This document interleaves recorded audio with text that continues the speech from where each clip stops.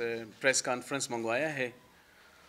लांगो कौमी एहतियात के हवाले से ये प्रेस कॉन्फ्रेंस मनद हुआ है। लांगो कबाइल के चादर और चारदीवारी, पामाली और लांगो कबीले के मरूम हफीज़ वलशेर मोहम्मद के कातलों की गिरफ़्तारी अब तक नहीं हुई, जो इंतज़ामिया पर सवालिया निशान है। हम लांगो कौम एहतियात के प्लेटफार्म से इंतज़ामिया से पुरजोर अपील दायर करते हैं कि कातलों को फ़ौर गिरफ़्तार करके कैफर किरदार तक पहुँचाया जाए। और लांगो कबीले के साथ इंसाफ किया जाए और इंतज़ामिया से अपील करते हैं कि लांगो कबाइल के चादर और चार, चार दीवारी की हिफाजत की जाए। बसूरत दीगर लांगो कबाइल हर किस्म के एहतजाज का हक महफूज रखते हैं। हम तमाम पाकिस्तान के लांगो लंगा लांगा बरदरी मुकम्मल एहतजाज का हक रखते हैं। हम तमाम बरदरी वड और औरनाज के लांगो कबीले के साथ शाना बशाना और मुकम्मल ताउन के लिए हर वक्त तैयार हैं। हम आईजी पुलिस बलुस्तान से अपील करते हैं। फ़ौर DC Khuzdar Bashir Ahmad Barech S H O Mirjan Jatak और तहसीलदार रियाज जामूट जामोट को हिदायत करके फ़ौर कार्रवाई अमल में लाया जाए। बसूरत दीगर तमाम ज़िम्मेदारी इंतज़ामिया इंतज़ामिया पर आयद होगी।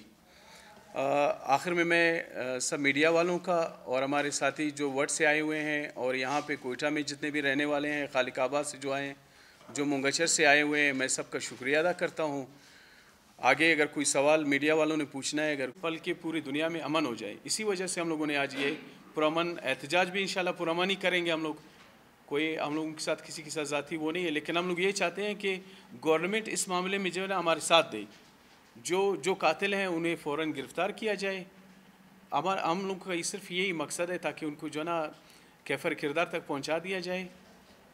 ये ये मसला है और सर हमारे जो है गिरफ्तारियाँ हमारे ही हो रहे हैं। हमारे बंदों की गिरफ्तारी कत्ल के बाद भी गिरफ़्तार वो बंद किया जाए। को पता है कि वहाँ पे किसी के साथ कोई ज़ाती वो नहीं है ज़ाती मामला नहीं है उनके साथ। लेकिन उल्टा हमारे बंदे मारे ए, मारा गया है दूसरा जो ना मालूम है सर उनके ऊपर एफआईआर भी कटवाया गया है वहाँ।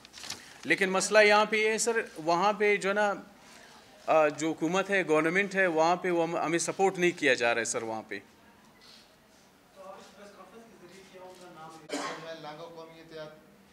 सर, ये एफ़ आई आर कर चुका है, सारे बंदे नामिनेट हैं, लेकिन इस वक्त इंतज़ामिया जो है, बिल्कुल हमारे कातिलों को तो गिरफ़्तार करने की बजाय हमारे ही लोगों को गिरफ़्तार कर रहे हैं।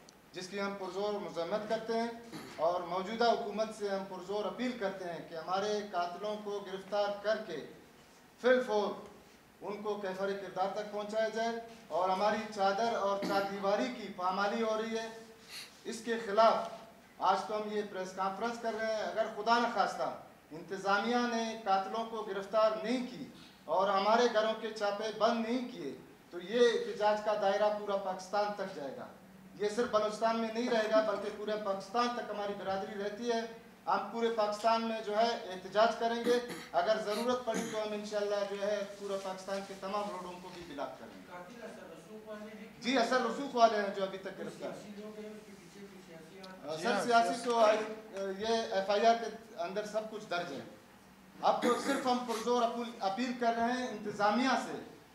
हम कातिलों को गिरफ्तारी की अपील कर रहे हैं।